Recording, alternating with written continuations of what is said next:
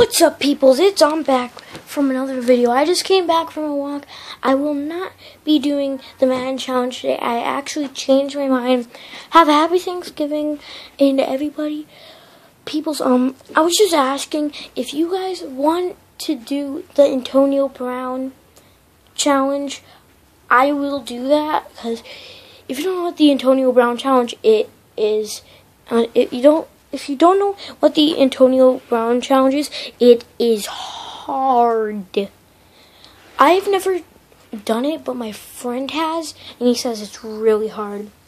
And um, you might have seen Dan TDM's new video. If you didn't, go check it out right now. And go subscribe to him.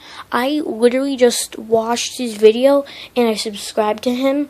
And um, it was um, it was Hello Neighbor, and he couldn't do this challenge. It was called um, he this guy on um YouTube or Facebook. Um, he posted his name is Turkey Boy fifty five. Um, and he said he he wanted to see what was in the casket of um the thing, but Dan TDM just couldn't get the casket because the neighbor just kept. It, it was just unbearable. Alright, I will see you in the next video. Peace. On.